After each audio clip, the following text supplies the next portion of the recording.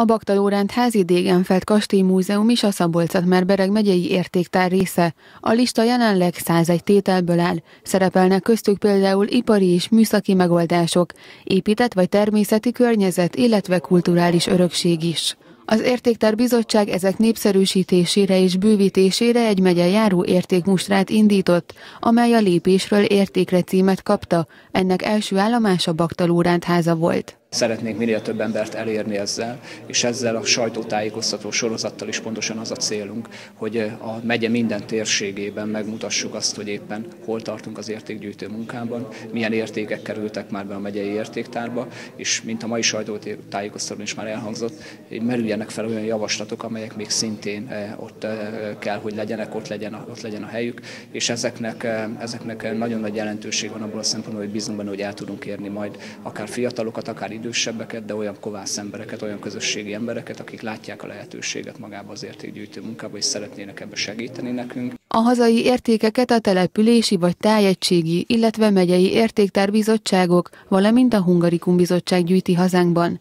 Utóbbi listán már 70 tétel szerepel, de ez is folyamatosan bővül.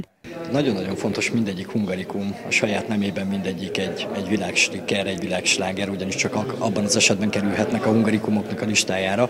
Minket uh, turisztikailag vagy gasztronómiailag a kultúra mellett természetesen, ami teljes mértékben érint, az az öt darab hungarikum, a Gundál örökség vagy a Gundál palacsinta, a tiszai, a bajai halászlé, a gulyás, és mi kihagytam valamit. Mit hagytam ki? Nem hagytam ki semmit, szerintem mindegyiket elmondtam.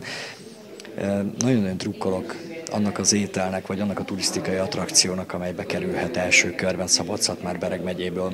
És szabolcs bereg megyé és maga nyírség tele van érdekességekkel. Az értékbemutató sorozat első állomásának helyszíne a Dégenfeld Kastély Múzeum első ismert irata egy 1515-ben kell dokumentum. Az épület feltehetően utolsó komolyabb átalakításait 1840 körül végezték. A 20. század háborúi során a kastély többször feldulták, 1945 után pedig államosították. A Degenfeld kastély 2014 és 2015 között újult meg, több mint 500 millió forintos hazai és Európai Uniós támogatásból. A projekt keretében egy interaktív múzeumot alakítottak ki, amely bemutatja többek között Baktalú rendházát és a Degenfeld családot is.